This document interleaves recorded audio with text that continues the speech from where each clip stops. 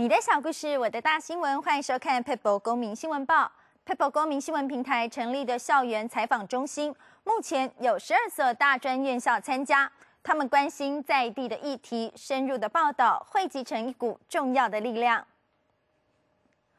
位在花莲的慈济大学，几位学生用社团的方式组成了慈大传播站。透过他们的镜头，我们看到东部的原住民影像记录，像是花莲封冰箱的格马兰族，他们如何传承语言文化？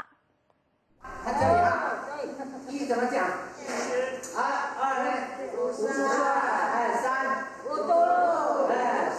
五十三，五五，六五六，七五八九，十五十三。Aiko na ni ti aing tangkubalan ka jinay ko na ni pakikut mangkubalan ti oe kabalan zia. Ini kebaran, tangi mana sina nanam to jana kebaran jina. Jadi mi pasupak to sunis na kebaran to jauh na sikau mana kebaran. Tako ni piri tasau ini sina nanam to jana kebaran, temaksi to jana kebaran, temut to jana kebaran tataksianan. Na yau mak sa sikau mangkuk wanai. 很多人说，现在的年轻人是草莓族，他们根本不会去关心公共议题。但是，慈大传播站最近在 People 上有一则关于七星潭度假村的开发案，一共吸引了六万多人去点阅，并且有超过一百三十篇的回响跟讨论。许多人是透过他们的报道才了解这个事件的发展，并且集结力量，串联行动去关心这个议题。花莲县政府在民国九十六年年初通过派蒂娜公司投资的七星潭滨海度假村开发计划。县府通过的七星潭度假村占地五点五六公顷，计划开发面积四点四五公顷，地目为农业区国土保安用地，必须依非都市土地使用规则变更为一般农业区油气用地。但因八十六年七星潭环说书审议公告，使得开发计划必须先通过环境影响评估，才能变更地目。而花莲县府于今年七月十四提案废止八十六年七星潭环说书公告，此一动作等同间接帮业者护航。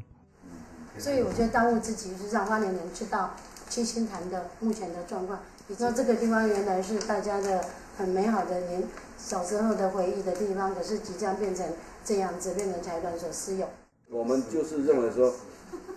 这个广场哈、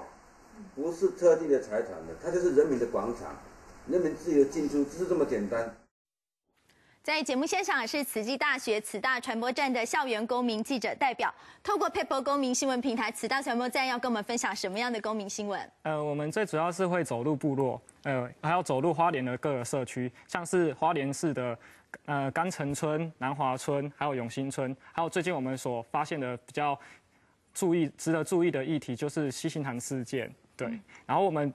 我们最主要就是以纪录片的方式呈现给大家，然后让大家知道说受访者想要发出什么样的声音，告诉我们，告诉大家说他们自己心心里内心的那些故事，甚至他们想要告告诉大家的一些议题。对，的确，我们看到透过慈大传播站跟我们分享的新闻，其实它都是有蛮长的影片。那你们在拍摄这些影片当中，是不是也有一些让你们感动或是印象深刻的事情？呃，当然是有啦，也像是比如说我之前有访问甘城新甘城博爱新村的一个长老，然后我在跟他访问的时候，他居然在我面前流泪，我还蛮感动的，反正呃就跟他感同身受，对。嗯，的确哦，其实我们在一般的大众媒体上很难看到来自花莲在地的报道，但是透过公民记者的镜头，我们却听到了很多来自在地的声音。我们也期待能够透过此大传播站同学的镜头，让我们听到来自更多花莲在地的公民新闻。佩报公民新闻报，我们下次见。